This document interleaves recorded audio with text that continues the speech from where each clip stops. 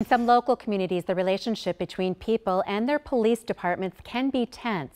And that is true at times for a community within Brooklyn Park. Ellery McCardle shows us the effort to strengthen that relationship in the middle of a busy intersection.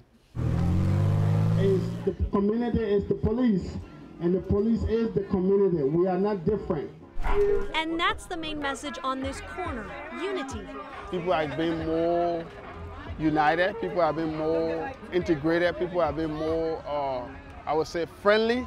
But there's always room for a stronger relationship between the people who live in Brooklyn Park and its police officers. So this is how this community is trying to make progress by talking. It's about communication and keeping that open lines of communication open. Yeah, and there's a reason why police chose to have the event at this intersection of Yates Avenue and Brookdale Drive because they're called here a lot. They've recorded at least 144 police calls here just this year. People are talking about their concerns. We're losing our babies. They far gone, yeah. And they're writing down questions for Police Chief Craig Enevoldsen, who's on the microphone answering them. Go back to your apartment building, grab some people and bring them up just so we can have this conversation and start to build build the trust. Transparency over food, fun for the kids, and frank conversation.